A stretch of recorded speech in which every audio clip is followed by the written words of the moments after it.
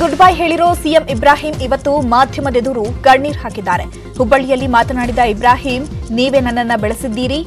ಇನ್ಮೇಲೂ ನೀವೇ ನನ್ನ ಕೈ ಹಿಡಿಬೇಕು ಅಂತ ಭಾವನಾತ್ಮಕವಾಗಿ ಮಾಧ್ಯಮದೆದುರು ಕಣ್ಣೀರು ಹಾಕಿದ್ರು. ಕಾಂಗ್ರೆಸ್ ಪಕ್ಷದಿಂದ ಹೊರಬಂದಿದ್ದೇನೆ, ವಾಪಸ್ ಹೋಗೋ ಪ್ರಶ್ನೆಯೇ ಇಲ್ಲ. ಮುಂದಿನ ದಾರಿ ನೋಡೋಣ ಅಂತ ಹೇಳಿದ್ರು. ನನ್ನ ಶಾಪ ಭಾರಿ ಕೆಟ್ಟದ್ದು. ಇವಾಗ ತಟ್ತಿದೆ. ನಾನು ವಿಷಕಂಠ ಇದ್ದಂಗೆ ಎಲ್ಲವೂ ನುಂಗ್ಕೊಂಡಿದ್ದೆ. ನನ್ನನ್ನ ಎಂಎಲ್ಸಿ ಮಾಡಿದ್ದೆ ಅಂತ ಸಿದ್ದರಾಮಯ್ಯ ಹೇಳ್ತಾರೆ. ನಾಳೆನೇ ರಾಜೀನಾಮೆ ಕೊಡ್ತೀನಿ. ಅವರು ಶಾಸಕ ಸ್ಥಾನಕ್ಕೆ ರಾಜೀನಾಮೆ ನೀಡಿ ಸ್ಪರ್ಧೆ ಮಾಡ್ಲಿ. ಯಾರು ಗೆಲ್ತಾರೆ ನೋಡೋಣ ಅಂತ ಸವಾಲ್ ಹಾಕಿದ್ದಾರೆ. ಡಿಕೆಶಿ ಬಹಳ ದೊಡ್ಡವರು. ನಮ್ಮಂತವರನ್ನೆಲ್ಲ ಯಾಕೆ ಮಾತನಾಡಿಸಲ್ಲ? ಆರು ತಿಂಗಳ ಹಿಂದೆ ಎಲ್ಲವೂ ಸರಿ ಮಾಡ್ತೀನಿ ಅಂದ್ರು. ಆದ್ರೆ ಏನೂ ಆಗಿಲ್ಲ ಅಂತ ಡಿಕೆಶಿ ಮತ್ತು ಸಿದ್ದು ವಿರುದ್ಧ ಇಬ್ರಾಹಿಂ ವಾಗ್ದಾಳಿ ನಡೆಸಿದರು. ಸೊ ಒಳ್ಳೇದಾಗಲಿ, ಇಷ್ಟೇ ನಾನು ಮಾಧ್ಯಮದವ್ರಿಗೆ ಕೇಳೋದು. ನೀವು ನನ್ನ ಕೈ ಹಿಡಿದಿರಿ. ನನ್ನ ಕೈ ಬಿಡಬೇಡಿ. ನಾನು ಬಡವ, ನೊಂದಿದ್ದೇನೆ. ದುಡ್ಡಿಲ್ಲ ನನ್ನ ಹತ್ರ. ನಿಮ್ಮ ಆಶೀರ್ವಾದದಲ್ಲಿ ನನಗಿರೋದು. ಇಬ್ರಾಹಿಂಗೆ ಪರಿಷತ್ ವಿಪಕ್ಷ ಸ್ಥಾನ ತಪ್ಪಿದ ವಿಚಾರ ಹಾಗೂ ಕಾಂಗ್ರೆಸ್ ತ್ಯಜಿಸಿರೋ ಹಿನ್ನೆಲೆ ಅಲ್ಪಸಂಖ್ಯಾತ ಸಮುದಾಯದ ಮುಖಂಡರು ಇಬ್ರಾಹಿಂ ಬೆನ್ನಿಗೆ ನಿಂತಿದ್ದಾರೆ. ಇಂದು ಬೆಂಗಳೂರಲ್ಲಿ ಅಲ್ಪಸಂಖ್ಯಾತ ಧಾರ್ಮಿಕ ಮುಖಂಡರು ಮಹತ್ವದ ಸಭೆ ನಡೆಸಿದರು. ನಂದಿದುರ್ಗ ರಸ್ತೆಯಲ್ಲಿರುವ ಖಾದ್ರಿಯಾ ಮಸೀದಿಯಲ್ಲಿ ಮಹತ್ವದ ಸಭೆ ನಡೆಸಿದ್ದು, ಮುಸ್ಲಿಂ ಸಮುದಾಯಕ್ಕೆ ವಿಪಕ್ಷ ಸ್ಥಾನ ಕೈತಪ್ಪಿದರ ಬಗ್ಗೆ ಮಹತ್ವದ ಸಮಾಲೋಚನೆ ನಡೆಸಿದ್ದಾರೆ. ಮೌಲಾನಾ ಮುಫ್ತಿ ಇಫ್ತಿಖಾರ್ ಅಹಮದ್ ಖಾಸ್ಮಿ, ಮೌಲಾನಾ ಎಜಾಜ್ ಅಹಮದ್ ನದ್ವಿ ಸೇರಿದಂತೆ ಹಿರಿಯ ಧಾರ್ಮಿಕ ಮುಖಂಡರು ಭಾಗಿಯಾಗಿದ್ದಾರೆ. ಸಭೆಯಲ್ಲಿ ಕಾಂಗ್ರೆಸ್ನಿಂದ ಅಲ್ಪಸಂಖ್ಯಾತರನ್ನ ಕಡೆಗಣಿಸಲಾಗ್ತಾ ಇದೆ ಎಂಬ ಅಭಿಪ್ರಾಯವನ್ನ ವ್ಯಕ್ತಪಡಿಸಲಾಗಿದೆ. ವಿಧಾನಸಭೆ ವಿಪಕ್ಷ ನಾಯಕ ಸಿದ್ದರಾಮಯ್ಯ ಹಾಗೂ ಕೆಪಿಸಿಸಿ ಅಧ್ಯಕ್ಷ ಡಿಕೆಶಿ ವಿರುದ್ಧವೂ ಬೇಸರ ವ್ಯಕ್ತವಾಗಿದೆ. ಇಬ್ರಾಹಿಂಗೆ ವಿಧಾನ ಪರಿಷತ್ ವಿಪಕ್ಷ ನಾಯಕ ಸ್ಥಾನ ತಪ್ಪಿದ ಹಿನ್ನೆಲೆಯಲ್ಲಿ ಅಲ್ಪಸಂಖ್ಯಾತರನ್ನು ವಿಶ್ವಾಸಕ್ಕೆ ತೆಗೆದುಕೊಳ್ಳಲು ಕಾಂಗ್ರೆಸ್ ಹೈಕಮಾಂಡ್ ಮುಂದಾಗಿದೆ. ಯುಟಿ ಖಾದರ್ಗೆ ವಿಧಾನಸಭೆಯ ವಿರೋಧ ಪಕ್ಷದ ಉಪನಾಯಕನ ಸ್ಥಾನಕ್ಕೆ ನೇಮಕ ಮಾಡಲಾಗಿದೆ. ಈ ಮೂಲಕ ಸಿದ್ದರಾಮಯ್ಯ ಮಾತಿಗೆ ಕಾಂಗ್ರೆಸ್ ಹೈಕಮಾಂಡ್ ಮಣೆ ಹಾಕಿದೆ. ಈ ಹಿಂದೆ ಕೆಪಿಸಿಸಿ ಪ್ರಚಾರ ಸಮಿತಿ ಅಧ್ಯಕ್ಷರಾಗಿ ಎಂಬಿ ಪಾಟೀಲ್ ಅವರನ್ನ ನೇಮಿಸಲಾಗಿತ್ತು. ಇಲ್ಲೂ ಸಿದ್ದರಾಮಯ್ಯ ಪ್ರಭಾವವೇ ಕೆಲಸ ಮಾಡಿತ್ತು. ಈಗ ಸಿದ್ದರಾಮಯ್ಯ ಸಲಹೆಯಂತೆ ಯುಟಿ ಖಾದರ್ ಅವರಿಗೆ ವಿಧಾನಸಭೆ ಉಪನಾಯಕ ಸ್ಥಾನಕ್ಕೆ ನೇಮಿಸಿದೆ. ದಿನೇ ದಿನೇ ಕಾಂಗ್ರೆಸ್ನಲ್ಲಿ ಸಿದ್ದರಾಮಯ್ಯ ಪ್ರಭಾವ ಹೆಚ್ಚಾಗ್ತಿದೆ. ಕಾಂಗ್ರೆಸ್ನ ಪ್ರಮುಖ ಇಬ್ಬರು ನಾಯಕರಲ್ಲಿ ಒಬ್ಬರು ಬಿಜೆಪಿಗೆ ಬರ್ತಾರೆ. ಡಿಕೆಶಿ ಸಿದ್ದರಾಮಯ್ಯ ಇಬ್ಬರಲ್ಲಿ ಒಬ್ಬರು ಬಿಜೆಪಿಗೆ ಬರ್ತಾರೆ. ಸಿದ್ದರಾಮಯ್ಯ ಕಾಂಗ್ರೆಸ್ ಬಿಟ್ಟು ಹೊರಗೆ ಬರೋದು ಫಿಕ್ಸ್ ಅಂತ ವಿಜಯಪುರದಲ್ಲಿ ಶಾಸಕ ಬಸನಗೌಡ ಪಾಟೀಲ್ ಯತ್ನಾಳ್ ಹೇಳಿದ್ದಾರೆ. ಡಿಕೆಶಿ ಹಾಗೂ ಸಿದ್ದರಾಮಯ್ಯ ನಡುವೆ ಜಗಳ ಇದೆ. ಅವರಲ್ಲಿ ಒಬ್ಬರು ಬಿಜೆಪಿಗೆ ಬಂದ್ರೆ ಅಚ್ಚರಿ ಪಡಬೇಕಿಲ್ಲ. ಕಾಂಗ್ರೆಸ್ನಲ್ಲಿ ಸಿದ್ದರಾಮಯ್ಯ ಭವಿಷ್ಯ ಅಂಧಾಕಾರದಲ್ಲಿದೆ. ಡಿಕೆಶಿ ಪಾದಯಾತ್ರೆ ನೀರಿಗಾಗಿ ಅಲ್ಲ, ಸಿದ್ದರಾಮಯ್ಯರನ್ನ ಮುಗಿಸೋಕೆ ಡಿಕೆಶಿ ಪಾದಯಾತ್ರೆ ಮಾಡಿದ್ರು. ಮೇಕೆ ದಾಟ್ಲಿಲ್ಲ. ಯಾಕಂದ್ರೆ ಅಲ್ಲಿ ಟಗರಿತ್ತು. ಟಗರಿನಿಂದ ಮೇಕೆ ದಾಟಲು ಆಗ್ಲಿಲ್ಲ ಅಂತ ವ್ಯಂಗ್ಯವಾಡಿದ್ದಾರೆ ಸಿದ್ದರಾಮಯ್ಯ ಕಾಂಗ್ರೆಸ್ ಬಿಟ್ಟು ಬಿಜೆಪಿಗೆ ಬರ್ತಾರೋ, ಏನ್ ಮಾಡ್ತಾರೋ ಗೊತ್ತಿಲ್ಲ. ಸಿದ್ದರಾಮಯ್ಯ ಡೋಲಾಯಮಾನ ಪರಿಸ್ಥಿತಿಯಲ್ಲಿದ್ದಾರೆ. ಕಾಂಗ್ರೆಸ್ನಲ್ಲಿ ಅವರು ಕೊನೆಯ ದಿನಗಳನ್ನ ಎಣಿಸ್ತಾ ಇದ್ದಾರೆ ಅಂತ ಹೇಳಿದ್ದಾರೆ. ಸಿದ್ದರಾಮಯ್ಯರು ಒಬ್ಬರು ಹಿರಿಯ ನಾಯಕರು. ಅವ್ರಿಗೆ ಕಾಂಗ್ರೆಸ್ನಲ್ಲಿ ಇದು ಕೊನೆಯ ದಿನಗಳು ಅವ್ರು ಎಣಿಸ್ತಾ ಇದ್ದಾರೆ ಅಷ್ಟೇ. ಸರ್ ಬಿಜೆಪಿಗೆ ಬಂದ್ರೆ ಕರ್ಕೋತೀರಾ ಅಂತ? ಅದು ನಮ್ಮ ಪಕ್ಷದ ಹೈಕಮಾಂಡ್ ನಿರ್ಣಯ ಮಾಡ್ತದೆ ನಮ್ಮ ಕೈಗಿಲ್ಲ. ಪಕ್ಷದ ರಾಷ್ಟ್ರೀಯ ನಮ್ಮ ಪಾರ್ಟಿಯ ಪ್ರಧಾನಮಂತ್ರಿಗಳು ರಾಷ್ಟ್ರೀಯ ಅಧ್ಯಕ್ಷರು ನಿರ್ಣಯ ಮಾಡ್ತಾರೆ.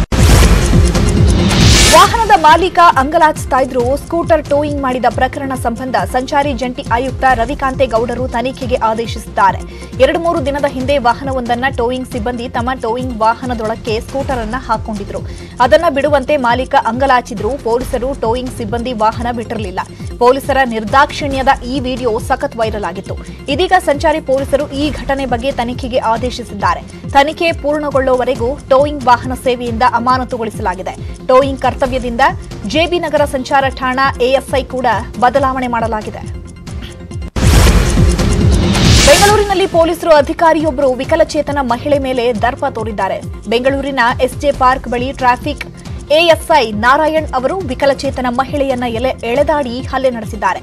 ಎಸ್ಜೆ ಪಾರ್ಕ್ ಮುಖ್ಯ ರಸ್ತೆಯಲ್ಲಿ ರಸ್ತೆ ಬದಿ ದ್ವಿಚಕ್ರ ವಾಹನ ನಿಲ್ಲಿಸಲಾಗ್ತಾ ಇತ್ತು. ಈ ವಾಹನಗಳನ್ನು ನೋಡಿಕೊಳ್ತಾ ಆ ವಾಹನ ಸವಾರರಿಂದ ಈ ವಿಕಲಚೇತನ ಮಹಿಳೆ ಚಿಲ್ಲರೆ ಕಾಸು ಪಡೆದು ಅದೇ ಚಿಲ್ಲರೆ ಕಾಸಿನಲ್ಲಿ ಜೀವನ ಸಾಗಿಸ್ತಾ ಇದ್ಲು. ಈ ವೇಳೆ ದ್ವಿಚಕ್ರ ವಾಹನಗಳನ್ನು ನಿಲ್ಲಿಸುತ್ತಿದ್ದ ಜಾಗ ನೋ ಪಾರ್ಕಿಂಗ್ ಎಂದು ಅಲ್ಲಿದ್ದ ವಾಹನಗಳನ್ನು ಟೋ ಮಾಡಲು ಟೋಯಿಂಗ್ ಸಿಬ್ಬಂದಿ ಹಾಗೂ ಎಎಸ್ಐ ನಾರಾಯಣ್ ಆಗಮಿಸಿದಾಗ ಈ ಮಹಿಳೆ ವಿರೋಧ ವ್ಯಕ್ತಪಡಿಸಿದ್ದಾಳಂತೆ. ಸಿಟ್ಟಿಗೆದ್ದು ಪೊಲೀಸರು ಟೋಯಿಂಗ್ ವಾಹನದ ಮೇಲೆ ಕಲ್ಲು ತೂರಿದ್ದಾರಂತೆ.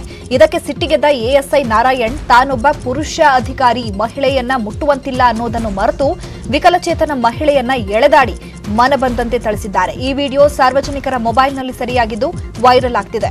ಇನ್ನು ಈ ಘಟನೆ ಬಗ್ಗೆ ರಿಯಾಕ್ಟ್ ಮಾಡಿರುವಂತಹ ಗೃಹ ಸಚಿವ ಆರಗ ಜ್ಞಾನೇಂದ್ರ ತನಿಖೆಗೆ ಸೂಚಿಸಿದ್ದಾರೆ. ದರ್ಪ ಎಸಗಿದ ಪೊಲೀಸ್ ಅಧಿಕಾರಿ ಅಮಾನತಿಗೂ ಆದೇಶಿಸಿದ್ದಾರೆ. ಸಂಚಾರಿ ಆಯುಕ್ತ ರವಿಕಾಂತೇಗೌಡ ಅವರು ಎಎಸ್ಐನನ್ನ ಅಮಾನತುಗೊಳಿಸಿದ್ದಾರೆ.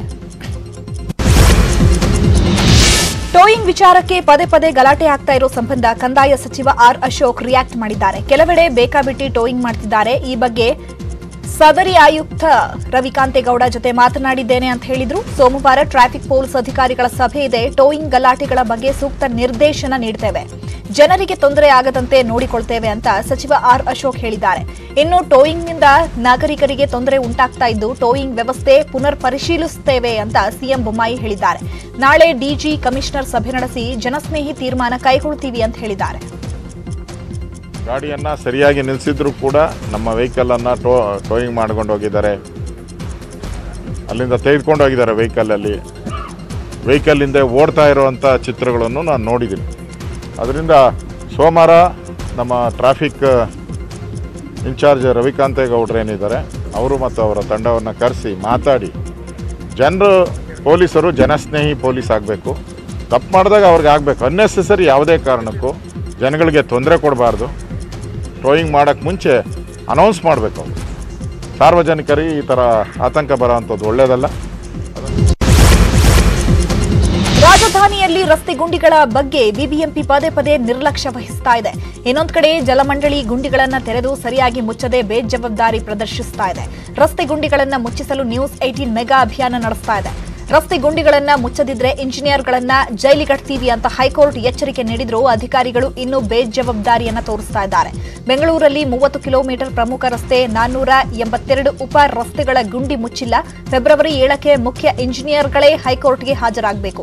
ಹೀಗಾಗಿ ಹೈಕೋರ್ಟ್ ಚಾಟಿ ಬೀಸ್ತಾ ಇದ್ದಂತೆ ಈಗ ಗುಂಡಿ ಮುಚ್ಚುವ ಕೆಲಸ ಶುರು ಮಾಡಿದೆ. ಎಡವಿದ್ದೀವಿ, ಕೋರ್ಟ್ಗೆ ವಿವರಿಸ್ತೀವಿ ಅಂತ ಬಿಬಿಎಂಪಿ ಸಬೂಬು ಹೇಳ್ತಾ ಇದೆ.